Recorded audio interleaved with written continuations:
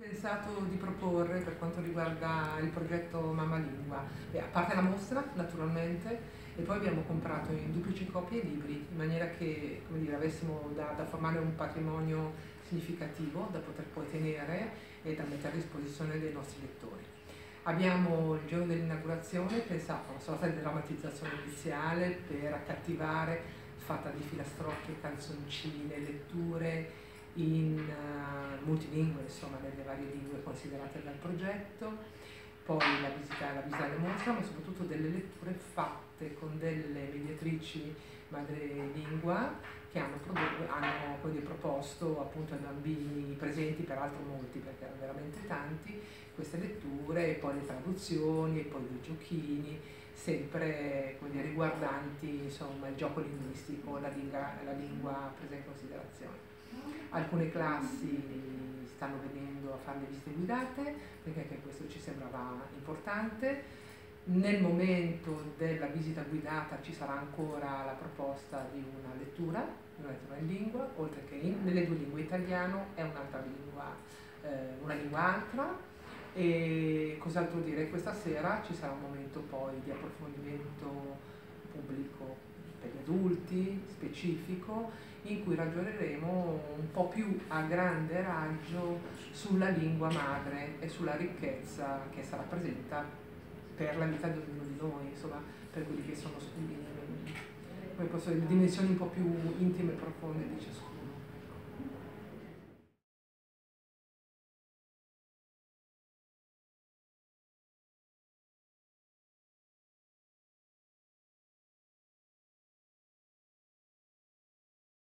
Una cosa particolarmente interessante che abbiamo fatto all'interno del progetto Mano Lingua, interessante perché è particolarmente piaciuta sia ai bambini che ai non bambini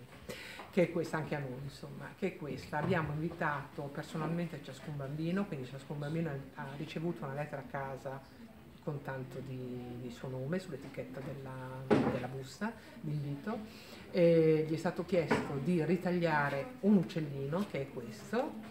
che è l'iniziativa, e di venirlo a portare in biblioteca e che avrebbe ricevuto un,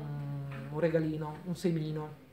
Quindi cosa abbiamo fatto? Man mano che i bambini arrivavano abbiamo preparato un nido dove i bambini potevano riporre questo uccellino e ricevere in dono questo semino che è un libro. L'idea stata messa in piedi dalla, eh, di Carmen Carlotta. Mi, mi, mi, fa piacere citarla perché insomma, è sua e, ed è stata particolarmente riuscita, che è una nostra creativa. E cos'altro, e, ed è tratta un po' dalla filastrocca di Tognolini, Mamma Lingua. L'idea è della mamma uccello che passa il semino al bambino come nutrimento e quindi da qui l'idea della mamma lingua, della lingua madre appunto come nutrimento per i bambini, con tutto il significato emotivo che questo può volere.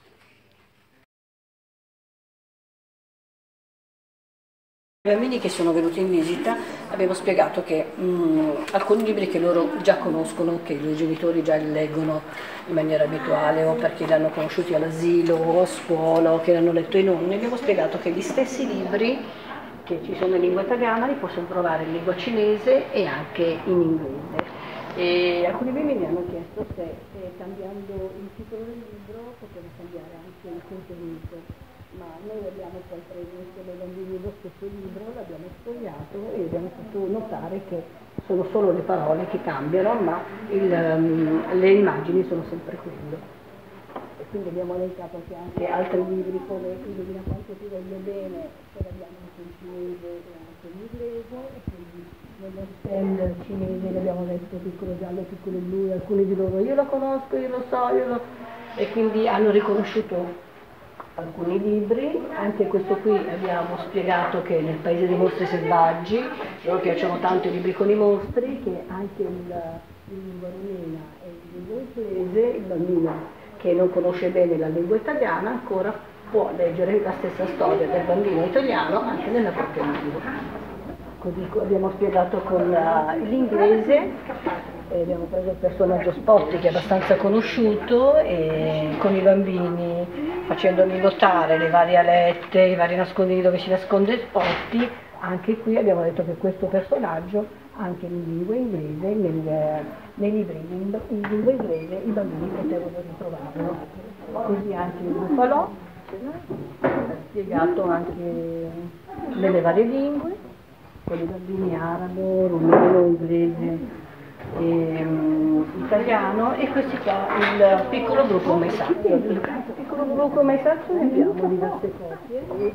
E anche i bambini hanno potuto con, constatare che le immagini sono le stesse ma cambia il, um, le paroline e infatti le ripeto alcuni mi hanno sempre chiesto se alcuni di loro ah, si sono proprio accomodati sul tappeto e insieme in maniera automatica hanno, confrontavano quello che io dicevo a voce ehm, verificavano se le pagine corrispondevano ai libri che avevano i propri compagni quindi chi aveva il libro spagnolo chi ce l'aveva rumeno chi in inglese chi in italiano confrontava con gli altri se corrispondeva alla stessa immagine alla stessa figura. Anche con, uh, con, questi libri qua abbiamo letto anche questi libri dove ai bambini abbiamo proposto oltre alla lettura ehm, oltre al giochino di indovinare chi si nascondeva dietro la figura ehm, il nome del personaggio in lingua francese, così i bambini hanno scoperto che Cochon è il nome del maialino e così andando avanti abbiamo elencato i vari, i vari personaggi in lingua. I libri che abbiamo letto in, durante la mostra sono stati libri in spagnolo, libri in inglese, in francese e in arabo. Ai bambini abbiamo spiegato anche che i libri in arabo hanno una particolarità rispetto ai nostri libri che mm, si leggono da sinistra verso destra e questo è il titolo del libro, non la fine come facciamo nei nostri libri e quindi sfogliando da, sinistra, da destra verso sinistra loro riescono a leggere. E un bimbo mi ha chiesto stamattina, ma allora vuol dire che dall'altra parte c'è anche la lingua italiana? E io gli ho detto no, ho risposto, le ho detto che il libro prosegue sempre in lingua araba e il, in lingua italiana troviamo un altro libro ma non lo stesso, nello stesso contenuto nello stesso libro. Quindi stamattina abbiamo letto il libro La mia nonna ai bambini e abbiamo letto il piccolo bruco Maisazio in arabo, ripetendo sempre il, i nomi dei personaggi, i nomi della frutta in arabo e i numeri in arabo. In spagnolo è piaciuta, ha fatto tanto successo la la lettura spagnola perché oltre ad avere Ernestina la gallina che è un libro in rima che ha fatto molto divertire i bambini,